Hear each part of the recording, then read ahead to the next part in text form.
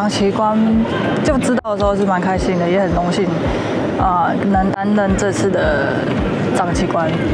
对，然后，嗯，就是最近这几天就是一直在适应这里的气候跟那个场地，还是会有点僵硬，就是身体的肌肉还没办法舒展的很开。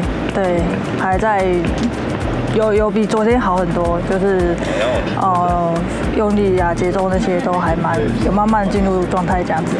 啊，第一次参加趴运的时候，就是年纪年纪还蛮轻的，所以也不知道就是趴运是什么，就是跟着学长们一起来参加这个比赛。慢慢的后面就有去认嗯认认认识到趴运这这这个大比赛，然后就是。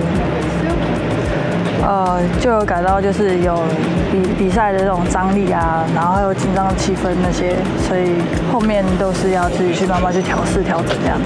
因为就是最近的的成绩，就是没有像以前啊年轻的时候这么的，就是这么好。